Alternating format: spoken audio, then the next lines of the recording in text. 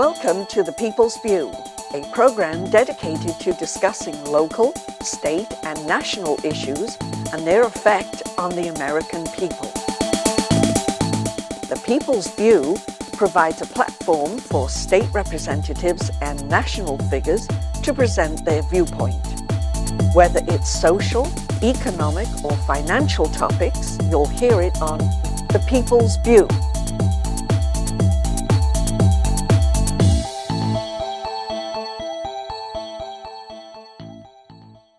Well, welcome back, everybody, to another show of The People's View. And uh, today we're honored to have Senator Jim Luther with us. And um, uh, kind of, it's kind of unique because of being in the super district. I got the opportunity to campaign both with him and Yeah. with Senator Lambert. So it's kind of good to help. You're the glue.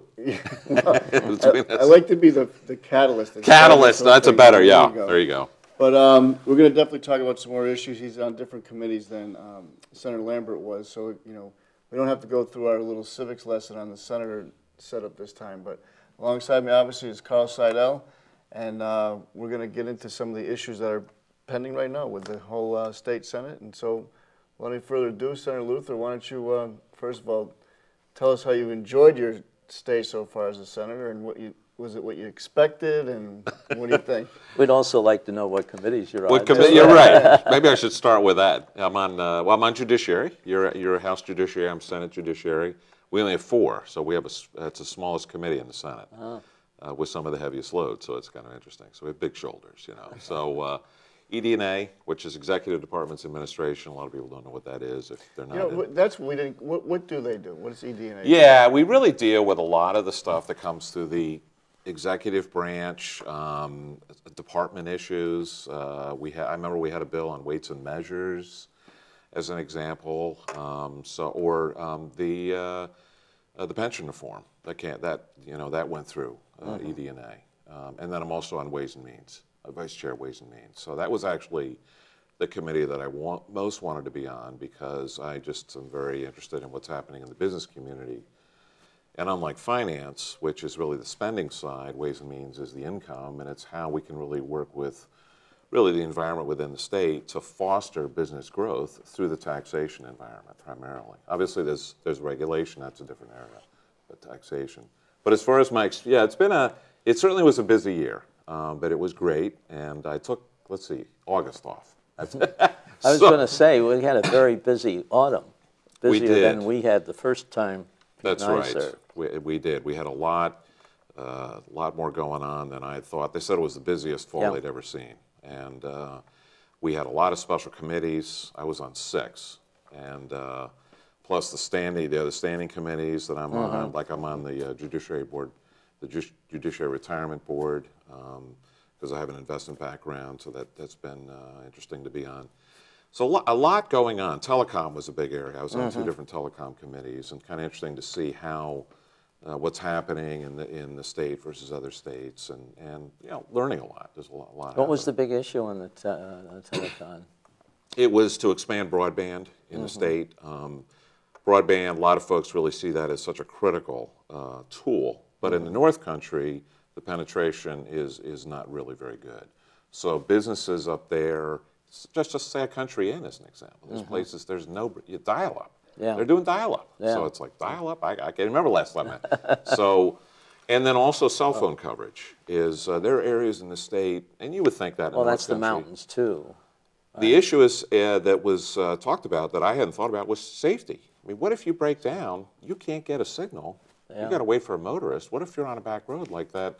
The story of that woman right. out west who was 10 days before they found her. So that's so those are big issues that they that they talked about. So you really get a sense of what's happening. But telecom, I think, is a is an integral tool to economic expansion in the state. So that was something we were really looking at. Did you make any progress? Yeah, in that area or just in general? in that area. Yeah, yeah, we did. Yeah, we did. We, there's a there's was a report that came out, and uh, then there's another tab, which is the Telecom Advisory Board that actually is executing some of these things. So, you know, some, there's some good stuff happening. Yeah. So you got you got in and you, you wanted to be on Ways and Means. Now, do you have a favorite? Was that still your favorite committee? I think so because I I have a business background and uh, I think being able to really look at the business environment, and a lot of it, as you guys know, does not just happen on the floor, whether it's in the House or Senate, or even in the committees. It's out in the communities. And one of the things that I've enjoyed is out meeting with businesses. For instance, uh, the Southern, I mean, the, uh, the uh, Small Business Development Center. I just have been meeting with them recently, and they had a meeting of businesses in Greater Nashua. And to hear what are the issues, and probably the biggest issue was health insurance costs, is paramount. I mean, they really those those sorts of issues. So being able to really have an opportunity to really make an impact. Uh, that, that's, I think that's, uh, that's a thrilling thing for me to be, to be involved in that process. We were able to pass several bills that uh, did affect uh, the small businesses. That's right. Uh, Loss carry forward and. Right? uh, Absolutely. And the uh, amount that they paid in the, the business enterprise tax. Right, right, right, right. And there's more coming, as I understand. That's right. uh, That's In the right. session. I've got a bill that's going to, there's actually two bills. Um, Senator Bradley has one, and then I've got the complementary bill that's going to restructure governance for S Corp, C Corp, and LLCs, because we have really lagged the region in being competitive as far as uh, really the governance and really lagging some of the states just in New England. So to be able to bring that up to date, to attract new businesses that want to say, hey, we want to be headquartered in New Hampshire, I think would be attractive to anybody. And the regulations too, rules and Big, regulations. It's a absolutely. big one. I mean, there's, There's- a big committee. There's that's one on it. study committee. Mm-hmm. looking at that. There's a lot of detail they're going through, absolutely. And I think that's a theme at the state and national level is the weight of regulation on Mm-hmm. businesses. Um, you know, you can almost understand it really with a Fortune 500. You know, they've got the resources in house, but small businesses, you think, for instance, I had a bill with the Labor Department Mm. Where um, small businesses were really feeling uh, challenged by the labor department coming in, especially like say restaurants, that sort of thing, not meeting code. And you're like, I didn't know that code existed. I must, you know, I got three employees, four employees. I don't have a staff. You don't have an accountant and all this. So to be able to uh, make it fair, and I worked very closely with uh, the labor commissioner to come up with something that was fair to fair to everybody, and, and he was very amenable to that. And they Yeah. uh, were able to pass a law where they had a warning first before That's they the, applied that's the it. penalties. Absolutely. And we thought, look, if, if, you're, if there is real outright uh, abuse, Right. that I, nobody has patience for that. But if it's more a sense of, hey, we, this was an honest mistake, give them some time to correct it. And if they've, you know, really done things to correct it, then we ought to, we ought to be able to pull back and let them, you know, have their business instead Mm-hmm. of really bringing the hammer down. Because, you know, there were penalties that were coming in on the spot, several thousand dollars. And uh, that's a real, It's a real burden for the it's small. a real burden. And I think it's a shock, too, to business owners. They're like, hey, what, where'd this come from? Yeah. You know? Give me, you have an example of one of the rules that you guys did away with, or, or the um, like Well- one, like one of these things for for a fine. Say, uh, like what would you do to? Oh, boy. So It wasn't so much as uh, putting the, uh, doing away with the regulation as that if it was a minor regulation um, uh, uh, that uh, somebody didn't know about or somebody just uh, somehow slipped through the cracks, uh, they gave them a warning and gave them like 30 or 60 days to correct it, and then uh, then they, they had nothing else other than. But that's what we just put into place. That's what we just put into place. They'll be looking at the other regulations, the more difficult ones. One of the things that we came across was the fact that uh, uh, there are different definitions for independent contractor. Now, you know. Yeah, that affects right. big companies as well as some of the Right. small companies uh, that hire independent uh, workers. And if you have Department of Labor with one definition and uh, unemployment security with Hmm. another definition, what do you do? You can't, you know, can't be both. Yeah, one or the other.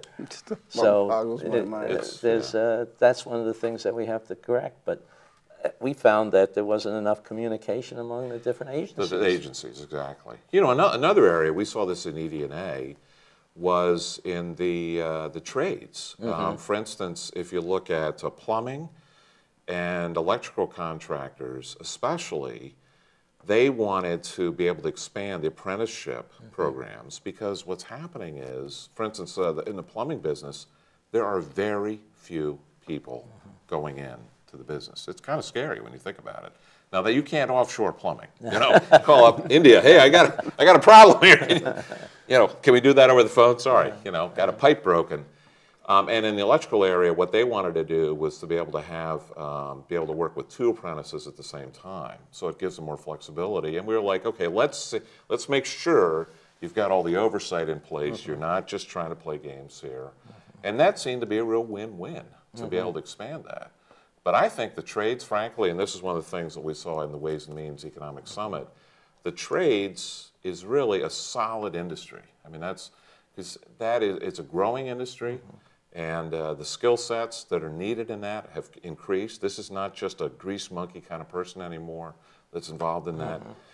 And to be able to nurture that, I think, is, is really important for And local some of the business. schools, the community serve and the technical schools are really pushing programs to get people up to. uh, It was par. bigger when I was a kid. You, you had a choice, and actually, in some ways, they almost use it as a threat. If you in Connecticut, anyways, if you didn't do well, you're going to go to technical. You're going to school. go to, t- yeah. And uh, some people went because that's what they wanted to do, uh, but a lot of them went because they kind of weren't making it in the mainstream. But now they got good jobs. I think it's a different world. You know, it's interesting because my wife teaches at Nashua Community. Mm-hmm. She's the senior level coordinator for the nursing Mm-hmm. program, and they. Uh, that's actually, if you look at nursing, that's one of the highest areas of demand in the U.S. Uh, because of the whole restructuring of medicine, and pretty much every person that comes out of that, they're hired almost immediately. And that's a two-year program getting your RN. But if you look at the community college, I really think that the role of the community college in general both in this state and in the U.S., is, has become a very integral uh, place. You know, especially for young people. I mean, this is one of the things where they're saying that uh, adulthood, uh, sort of the new trends are adulthood is being pushed back. So you may not know at 20, 21, man, I want to be an astronaut. I want to be a fireman. I want to, you know, I want to be a financial whatever.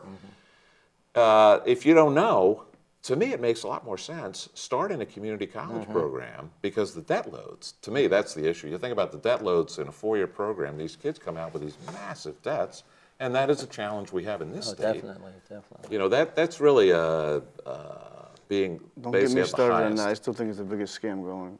Okay. I really do. I, I mean, I put four kids through now, Yeah. plus my wife, and I still have Yeah. one to go. Yeah. I'd be doing pretty well for myself. if, uh, yeah, yeah, right, right. It's, it's, it's, it's, uh, well, it's like today's high school. You know, you have to have a four-year degree that's almost equivalent to a high school That's right. diploma. Yeah, it's a, well, you think about it, I mean, look at the, the especially the infrastructure on, on college campuses today. We're talking, I mean, the money is Oh, yeah. unbelievable. Yeah, the Now, overhead is ter- terrible. How does that advance education specifically to be able to get a job? To me, I look at a two-year program to a four-year program. What is your ROI? You know, mm-hmm, return on mm-hmm. investment. You can't tell me that a four-year program you're going to get twice as much. You know, twice as much. I just don't see it out there. Yeah. And I think it's we really have to be very realistic about what's happening out there in the landscape because the whole job environment, debt loads, these are critical issues today. you know? Well, what it helps do is support the gray-haired, ponytailed Mm. uh, liberals that I like so much that I'm supporting their habits and giving them raises. It really makes me feel great Well, about that, it. that's really bothered us uh, in the uh, uh, Public Works Committee when we did the capital budget. Oh. Yeah, It was just the time that the uh, UNH professors were renegotiating the contract. And they turned down a 4% raise. And most of the people I know in the county, we were given 1% raises. Uh, And we just uh, said, hey, you know, you don't get this money automatically. We got to see how, what you're doing for the people that you're serving. Absolutely. You know, And it just wasn't there. But the communities, the colleges, they really did a good job in asking for their capital improvement. absolutely. And they contributed some of it, uh, you know, with their own money with, uh, from that. It wasn't just given to the, the teachers. So I think that uh, they did a good job. Well, I think Lucille Jordan, you know, our Yeah. the president of the local one, she's doing an outstanding job. Just look at the enrollment. The enrollment has quadrupled over. Right. the last few years. That's not by mistake. No, and it's not know? just because it's lower tuition. They're offering a lot of interesting Absolutely. programs. You know what I want to ask you guys? We're, to- Yeah. we're in the licensing thing. Yeah. I was just talking about this, I think it was yesterday. You know, we, we're going through this whole thing in the House, especially with a lot of libertarians came in this time. And they don't want any rules, laws, anything. Mm -hmm. So What do you feel about um, like hairdressers? Yeah, yeah. This is a big issue for me. that came through EDNA, and the next one's going to come through EDNA. Uh, actually, hairdressers are good friends of mine now. I, I actually teamed up with the women on E EDNA because I think that this, I know there's one bill coming through that deregulates like 10 different industries. I just think it goes too far. I mean, I, I, I understand the thought, but I think you've got to look at what is this really doing in these industries. Um, and we had, we sort of kidded around with this fish pedicure. Did you guys hear about this in the House side? Yeah. I, I heard some stories. We, we sort of we had a good a good laugh about that. But there was a bill that was brought forward in uh, Ways and Means to uh, basically allow these things called fish pedicures, and uh, that is taking your bare feet, putting them in a tank where these fish chew on your feet. now they're not piranhas, but they're They are actually there they're, the they're day. giving you a pedicure. Yeah. You know, It's like me walking through section one of the house. and this is this really comes to sort of uh, the you know eastern part of the world and but there, we asked questions just simple questions about medical issues safety issues and they couldn't really answer those and, and the- you know that shouldn't be an issue should it now they were saying uv they would use uv and that would sort of cleanse everything and we're like well i don't know I, that just seems like that's a little a little much. And what was very interesting is um, uh, the same day, we also had the, the one on the hairdressers, and there must have been, I'm telling you, 100, over 100 hairdressers, and they all came in, and, uh, you know, all this style packed into State House 100, you know, that room, and it was just, and you could tell they were very engaged in this issue. And, but what was interesting is to really listen to them, and uh, they really had some very valid points, because I didn't realize really, a serious hairdresser, somebody who's running a business, they're really concerned about issues around safety, around quality, those sorts of things. And I didn't realize the safety issue, especially with pedicures, when you're working around your fingernails and mm-hmm. stuff, there, there's a real risk of disease if you don't know what you're doing. Mm-hmm. You're working with chemicals and all of this. And, and it's not like they want to block, you know, these businesses that, that, you know, they want to sort of close the doors and only allow sort of the high and mighty to run this. But they want to just make sure that the clientele understands that there's a level of professionalism and safety. And so I've gotten the same concerns that have come back to me about this bill that's come up this year, which is even broader, covers all these industries. And I think, I think again, there is some, I can understand that the libertarian mindset, Pete, that, uh, you know, this is a good idea to sort of lighten the load, but I think you got to look at the reality out there in the marketplace as to what, what happens? You know? What would happen if, let's say, we'll take the hairdressers. yeah. So you start having people who aren't licensed, and then they burn some woman's hair off, and she can't, you know, get a scalp burn or something, and she has bald spots. Yeah. If the person's doing it out of their garage, they don't have any money to sue them. So what, right. what happens? Do they have recourse to the state? I don't know. That's a good question.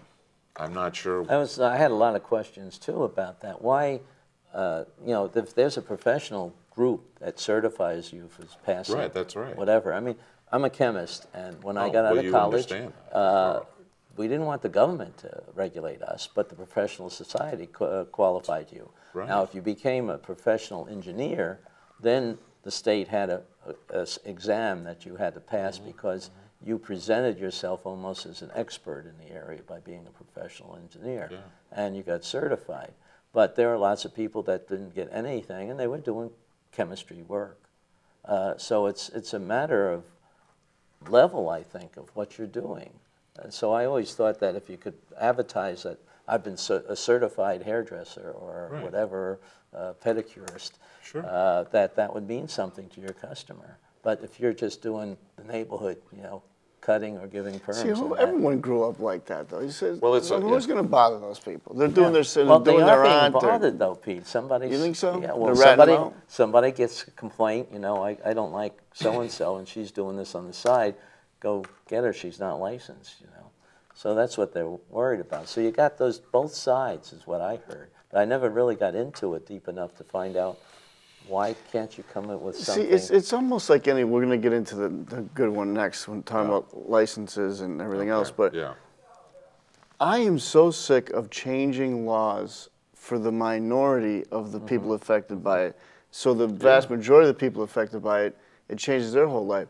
So if you took the, the, the licensing thing mm-hmm. with, you know, I guarantee you, it's not so much the the one that's you know going and doing all these people in the public. Mm-hmm. So they're really not bothered by it. The- But the guy, the poor guy that went and spent his money on the license, did all the different things, you know, of course he's mad about it. He had to go through all the schooling. Now you just can go and, Yeah. you know, my friend Anthony used to cut my hair for years. Should I have had him arrested? I mean, it's stupid. Now the gay marriage thing, uh, of course, that's going to come up. Both of us Yeah. being in judiciary. Start, yeah, starting now. And I, I'll give my take right now on it. I mean, I said, as I said last time, as you know, I was on judiciary. It's the same thing. It's, I have nothing against the, if, you know, gay, gays in, in general, what they want to do. Mm-hmm. But this is strictly a, a traditional thing that mm-hmm. if- all the numbers I heard last time, I don't know if they've changed, 1% of the population is homosexual. So you're going to take 99% of the way we've done things for all these years for 1%. When we already had civil unions, we already had everything. And everybody knows this would not have been an issue if they didn't have that, that small um, ma- majority lead last time and a, a Democratic governor, who, by the way, said he was against gay marriage, till they had the outside forces come in. And um, Yeah. what was it called? It was called uh, 612 Yeah, that's right, six twelve, sure. um, which All all gay marriage. By two thousand and twelve. And Right. the thing I found interesting about that, which most people wouldn't think of this right off the face value, the reason they targeted New England is because it's the least, uh, it's the most secular section of the country.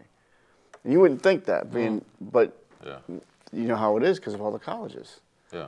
So all the different social, pro, um, secular programs like that, and they did it. They pretty much did it, Oh. except for Maine.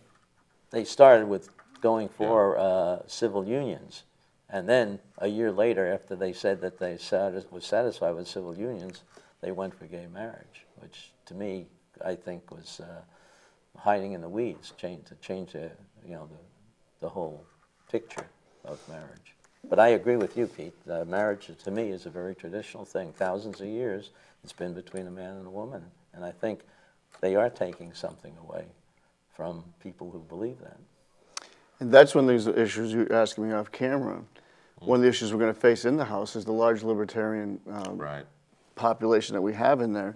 They don't want any laws, including gay marriage. Some of the bills that were proposed to us right. were crazy. They want to outlaw marriage, period. Yeah, yeah, it's, yeah, Um, yeah.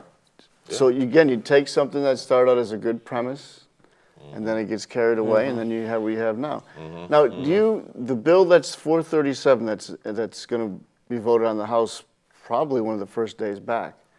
Um, that's what I've heard, yeah. So what what's the feeling in the Senate? Is, are you guys going to take that bill the way it was? I heard some rumors there might be changes made to it. There were some things that that um, a couple of the senators didn't like, or have you heard? I don't know, Pete. I ha- I've not, uh, we haven't had a formal caucus yet, so there, I mean, there's been some just general discussion, but I haven't heard anything about bringing an amendment, that sort of thing. I mean, it's, it'll obviously come to us in Senate Judiciary first, and I'm sure that's gonna be a big hearing. We'll probably be in the, you know, the big chamber, your chamber there for that. Um, But uh, I don't, I mean, my guess is, the you know, the majority of the Senate is gonna be in support of it in general. Uh, What that number is exactly, I don't know. We haven't really done a clear head count, uh, you know, where that, where that's going to go. Um, I mean, I, I, I, in general, I think the bill is, I think it's a pretty fair bill. I mean, it's got some flexibility to it because your grandfather, your grandfather, the marriages that have happened, you don't roll it all the way back. This is my understanding. You don't Yeah, roll it all the way back. You roll it back to civil unions. And, uh, uh, you know, there's been, uh, I notice there's some advertising on television now and emails, that sort of thing. That to me, it's not an issue of rights. It's an issue of redefining what has been really uh, the way things have been done for, for, you know, for thousands And where do you stop with it? Right, and that's the that's the hard thing. I mean, I So- joke all the time about it. I, I said at a committee one time that a lot of people didn't think it was funny, but I want to lower all the basketball hoops to five feet so then I can dunk. I mean, I always wanted to be a basketball player, but I'm not tall enough. Yeah. I mean, that, that sounds ridiculous, but that, how do you keep changing things? By the time you get history books when they're done with them, you wouldn't even know. You know, George Washington would have been, you know, Yeah. a black guy that was a transvestite by the time they mm-hmm. get done with it. So, I mean, I don't. it's a, yeah. Lawmaking, I think if you think about it, it's, it's a very interesting process. I think about another bill that we heard in the, in judiciary that came over, which was on the death penalty. You know, that's uh, Speaker O'Brien's bill. And it was very, and I'm not sure what the discussion was in the House Judiciary, but in Senate Judiciary, a lot of the testimony was around how will this impact the families of those who have been murdered. Now, I think that's a very valid issue, but I don't think it's the issue. The issue is about justice. And it's interesting how, in essence, the concept in society can shift. Right. But you go back to it, now wait a minute, what is the core issue we're dealing with here? And it's an, you know, how does society execute justice? And uh, it, are we going to just base it on polls? Are we going to base it on, you know, this sort of thing? And I think it's similar in, in this case is how do, do we say that this is a moving target? Or do we, you know, put a line in the sand, this, you know, this is where it is? And, uh, you can't do that on polls. And I think that's one of the, because that's one of the things they say is the majority are in support of this. Now, I don't know if you guys noticed in yesterday's New York Times, there's a big article about Catholic Charities. Um, it's a real challenge for them now with gay marriage because they're not able, their hands are really being tied now in working with, I'm trying to remember the details, but basically, is it adoption or? It's adoption. Probably working adoption, with yeah. gay families, and it doesn't give them the flexibility that they have according to their institution. It really ties And their hands. hiring, uh, And right, and that's ramifications now. Right. So people talk about there are not ramifications in society. Well, there are, and I think this is this is the kind of thing that uh, you know that you see. it's a big issue, and not just Yeah. with the Catholics, it's with uh, others too. I would think so. A lot of these uh, organizations. Uh, Massachusetts now doesn't handle their Catholic charities, do not handle adoptions. Yeah. They're still Yeah. handling them in New, in uh, New Hampshire, but if we change some of the rules and regulations, you have the same problem. And weren't they one of the biggest ones, Catholic charities for adoption? Oh, yeah. They're They huge. handle every, everything, uh, foster kids and everything, and uh, they were doing a good job at it from what I could tell. And, uh, you know, there are so many people that are looking for adoption. I mean, my Oh. daughter just adopted. Yeah. Uh, she had to go all the way out to Indiana Yeah. It's, to do. it's- Uh, where does she live? She here? she lives in Massachusetts. In Massachusetts, right? Massachusetts, we adopt both our kids, Uh-huh. so we understand. It's a it, and, to make the process harder Right. When it's already challenged. Right. I mean, and this is a win-win. You think about this: you're you're bringing children who really want a good home into to, into families who who are dying to have a child. You know, it's really interesting when we went through the interview process because you actually have to go through the district attorney's office, and they come and they want to see, are you, Mm-hmm. Oh, you know, yeah. are Oh, you, yeah. is this going to be a safe home, right? Yeah. And they're And they're following up afterwards. they, oh, it- absolutely. Yeah.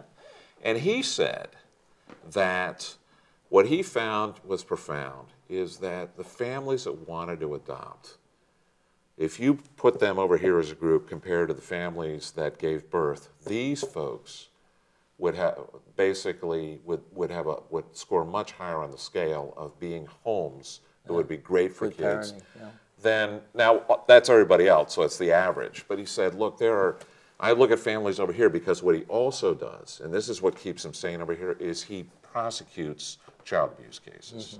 So he sees what happens in families that have these kids where there's abuse going on. Mm-hmm. These are their own kids. Yeah.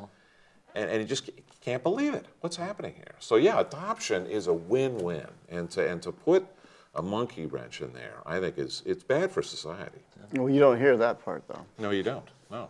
It, Yeah. It's, you know, again, it, it's a very emotional subject, and you Yeah. see the people. You can tell right off the bat. You'll see people that you know obviously have a, a gay person in their family. Of course, they're for it, Mm-hmm. and and it's understandable. And I'm not. I understand their.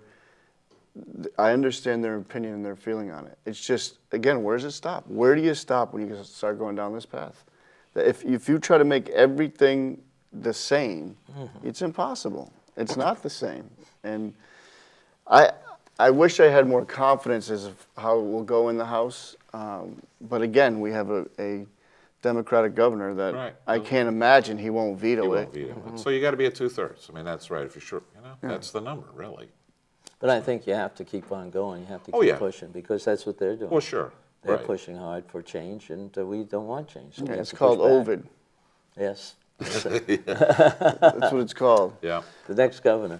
yeah. So, other than what's coming up right now that we should be looking for, we talked about some of the rules changes. Um, we talked about judiciary. Well, I think, uh, well, I'll just talk, s- I, I had, I have a couple little bills. You know, it was funny, I have, I have one rep in, in uh, Brookline who says, you gotta have some bills that are just for your constituents, you know? So I got, I have one bill that is, a that is uh, tubing behind boats. This is a big bill, you know, this, this is really gonna grow industry, but, but I've got a guy in my uh, constituent in my district who uh, works at summer camps. And uh, he said, Massachusetts, you can tow these big tubes with, uh, you know, up to six Yeah, kids on them. In New Hampshire, you can't do that. And- Really? I didn't know that. That's right. And the, and the, what it, they don't understand, they haven't defined the difference between multiple flotation devices and a single device that can have more than one person. So basically, they're thinking, oh, there's going to be six people out there all on separate, Separate lines. and, and that's that's a that's a risk.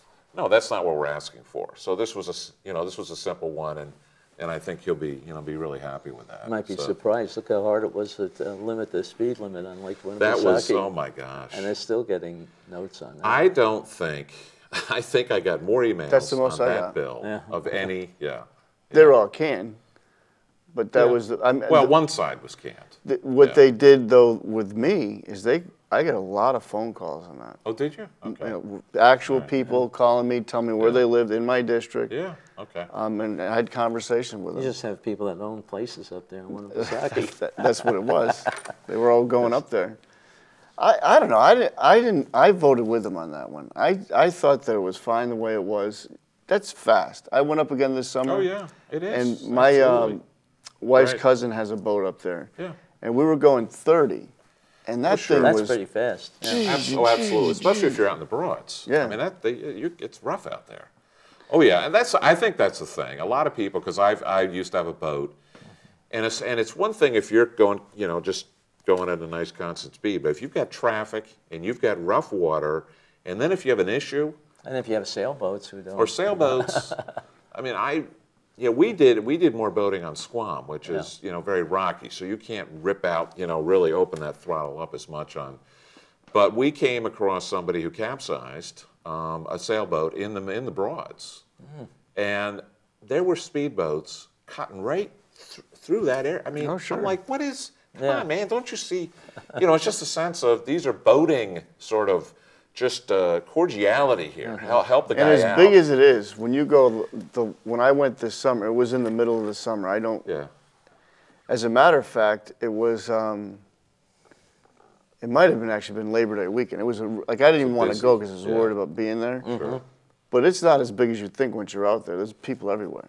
Oh, I know. You can't absolutely, and you see those cigarette boats, you know, coming through, and they're just, you know, they open that thing up. And I'm thinking, isn't that better out in the ocean or something? I mean, Yeah, that thing, you know, you you probably cut across the lake in about two minutes with that thing. You know, it's like, You know what you're going to Yeah. get though with that bill? We had with my first year in judiciary, it, we called it the dog musher bill. okay, And what happened was, you know, you have all the land up north, and you know, most of it is cuts through private property. All these Oh, different right, trails, like the. Appalachian Oh, yeah, Trail and yeah. stuff like that. right, So what they did years ago is they they formed a um, uh, basically you, you are exempt from being sued if you Oh. are hiking and you break your leg. Right. They can't sue you. sure, right. Well then, after the hikers, the you know cross country skiers. So well, these are the groups because Sure. what they're afraid is the landowner won't yeah. let them on if they're not on that list. Right. So the dog mushers actually came. So what they did is it went to bikers, to motorcyclists, Just to horseback riders. So now it's every, almost every term we're going to add one more to the One bill. more, Nice. yeah. Because how do you stop? Where do you where do you pick on dog mushers and say you can't? So they're going to probably say, well, Maybe do broad categories. you'll have instead of five on the tube, then you'll have six on the I tube. know. You watch. It's, It's like shall or may. but you know, I shall and may absolutely. You never thought you- especially, especially in judiciary, right? Shall and may. Oh, is, that's all it is. Oh my gosh, it's really interesting to, uh, you know, to really, uh, yeah, look, look at that. So, um, Can, Yeah. We have a few minutes left. I'd like to shift a little bit to Yeah. uh, capital budgets. Yeah. Uh, what do you think about the uh, uh, supporting our highways and bridges uh, improvements. We've got a big cut in the budget this last Yeah, year. Yeah. And I was wondering how you saw that going forward. I mean, I- we have big bridges to, to Right. repair. Right. I and, and Jim Rausch, Senator Rausch, has, has been a strong voice, you know, for that Right. in the Senate. I, I agree with him. I think that, uh, and again, I may not align entirely with all of my conservative colleagues, but I, I think that if you look at the um, the gas tax, Mm-hmm. some of these other things, I think that we have to really be looking at these infrastructure issues. And we're all, I think we're, we're old enough, probably remember the Fram commercials, you know, you pay me now or you mm-hmm. pay me later. And the problem is with infrastructure, mm-hmm. the longer you wait, gets much more expensive. And I think you hear the horror stories across the country, how many bridges are redlined and, mm. and, and, and I think it is an issue. And I, I do think that uh, we ought to be budgeting more money towards that because I just think that, and I think again, I think one of the, the prides that we have in this state is, especially in the winter, you know, we've got good roads, but that's going to be harder to uh, to really Oh, deal with. definitely, they cut time. back on the highway. uh, Absolutely. uh, People, Yeah, you know, and uh, they're gonna job it out. Hopefully, we'll get good service from the yeah, independent people that are doing the job. yeah. But I, I know, I'm torn too. I, I know what the need is. I'm not sure where you go for increased uh, income, because you certainly got the federal money cut back. Right, right, and I, but I think we do have to, I mean, I don't think we can, uh, you know, blow a huge wad, but I do think we need to be putting more money in there than we are. Um, It's, uh, you know, these, these are, uh, I think these are, these are expenses that we really need to, uh, to deal with. And infrastructure, boy, i- it's, it, you just, it's easy to cut, you know, in infrastructure, but, um, you know, when you're budgeting, but I, I don't think it's wise to, I think we're a little too tight. Uh, I think very now. tight. I mean, we argued uh, two years ago Yeah. about uh, whether to increase the gas tax Yeah. or to uh, perhaps uh, set up tolls someplace on some of the booths, some of these uh, Yeah. roads. Because they were talking about 101 being a good place to put toll booths. Oh. Uh, But, you know, neither one of those bills got very far. And you know, I, I the gas tax. Um, you look at the concept of the gas tax. Now I can understand if if gas was selling at say uh, two bucks a gallon, and you had like a 40 perc- 40 cent gas. That's really a big chunk. But when gas what it is, and with really relatively a smaller percentage of the gas tax, I think we really need to uh, just be smart about putting that money forward because it's it's a reality. People know they're going to have to, you know, that's you you just got to you're going to have to gas your car up, and I think that we've got to pay for these roads. Mm-hmm. We've got to take care of them, you know. And I think we were talking earlier about the bridge, mm-hmm. you know, going over to the airport. I mean, that's a great new addition, and hopefully that's going to bring more traffic to you know to to Boston Manchester Airport. I mean, that's a mm-hmm. beautiful place. to And what does that cost us now by eliminating the toll? Because you really It are. It'll be Yeah. about $5 million a year that they're uh, saying they're going to lose. And uh, hopefully, Yeah. people don't realize how easy it is to get around the toll booth. Yeah, it's a yeah. I don't quite right. Yeah, but even if you if you didn't want to do it, if you're coming from Massachusetts, you're just following the Oh, yeah, yeah, You're gonna avoid it anyhow, Yeah. just following the signs. that's right. I don't understand. The other thing that I don't get is why more people don't have E-ZPass. Uh, That's true. That's, Get this. I mean, if you're driving much at all and you come sit, you know, coins, at my coin. I mean, just you zip through. And now we're talking about doing the ones where you just drive through. Right. Yeah, 60 Those are beautiful. You know, if you've been in, I mean, I love 95, that. Yeah, 95. And I would think if we were able to do that and just move the, you know, the tolls down a little bit, where it's not as much of a headache, and people say, hey, it's worth getting that E-ZPass. You know, just do it. Well, that's think the that- toll, uh, yeah, the turnpike tolls are really supporting keeping the tu- the turnpikes, uh, either 95 or Route 3 or um, the one in Rochester. Yeah. Uh, They're, they're spending a lot of money on improving those Yeah, roads. yeah. But they don't have any money for outside that. I know. That's, I agree. That's an issue. And I, So, and I really think this issue of revenue sources is, is just, is going to continue to be an issue, especially when you have a tight economy. I brought along and I, but we, you know, Carl, you were there at the, uh, the Ways and Means uh, Economic Summit a couple Oh, yeah. weeks ago. And uh, pretty sobering perspective. I mean, it, it, we'll see how it goes, but I think that the kind of numbers that we did both in the House and, and the Senate, as far as revenue growth, was very I think, very realistic. I mean, to Oh, yeah. overshoot that, No, you don't want to do my that. gosh, You we'd don't be want in a really back. bad shape. That's right. And and I th- the House was criticized that the numbers were too low. Yeah, You know, and yeah. now they're looking Yeah, pretty darn good. yeah. And I think you got to be realistic because we're not coming out of this downturn anytime soon.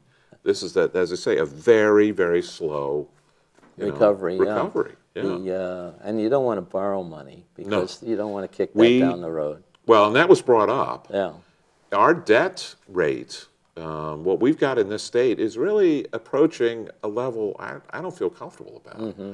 You know, servicing that debt load is, is, and it could affect our rating down the road. So I think we've got to look at it. all you have to do is change the interest rate a lot and some of those things. uh, Oh. Well, and look at it. Na- interest rates, we are at historic lows. If we start to see interest rate increases, it, yeah, it, it's going to hurt more. more Absolutely. right. Absolutely. Well, Senator, we're just about out of time, so is there anything else you wanted to add that we, uh, we didn't forget anything, or did you get to cover it all?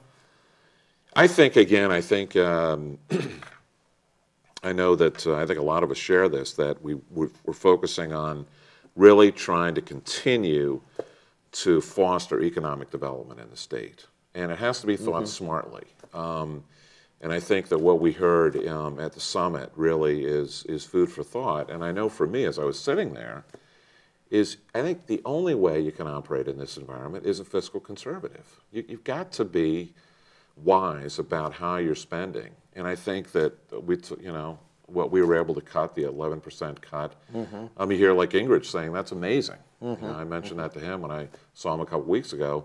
I mean, imagine if Washington had done it, actual Yeah. 11% cut in their spending versus cut in growth of, you know, whatever, which is a Yeah, joke. reduce the rate of growth, That's yeah. right. And I think we need to continue to press on that. But I think New Hampshire has a great story to tell. Mm-hmm. Um, and I know that uh, I've been working with uh, DRED um, and hearing great stories about how they're recruiting businesses across the border and, you know, sort of going undercover and going down to Massachusetts and saying it's so much nicer up here in New Hampshire. But one of the biggest attractants is the natural beauty of the state. You know, people would vacation up here and say, "Yeah, I'm going to move my business north. I just like it up there better." The quality of living. I mean, we have, you know, some of the best in the in the country. Well, I message. can't thank you enough, and hopefully we can have Yeah. you back in sometime. Absolutely, love to be back. I'm sure we'll have plenty to talk about once Oh, we get started. We got plenty. We're Start wait- next week. We're, we're waiting when you talk about redistricting for the Senate. Then we That's can come right. back. Absolutely. Well, we're, you'll hear it very soon. Yeah, Of course, you, you guys have for. had your fireworks on that side, so. Yeah, so it's your turn next. I was Yeah. dumb Then enough we to can get on the talk about committee. it. Yeah. Yeah. Maybe we'll get you and Senator uh, Lambert back at the same time to talk My about guess that. is we're going to have some changes. Yeah. Yeah. Well, that's going to do it for us this week, folks. Uh, tune in again next week. We'll be back with some more exciting guests. Keep you up to date on what's going up there in Concord and maybe some national things too. Carl, thanks a lot. And Senator, thanks for Thank coming you. in. Great to Take be with you, Pete. Great to be with you, Carl. Take care, everybody. Bye-bye.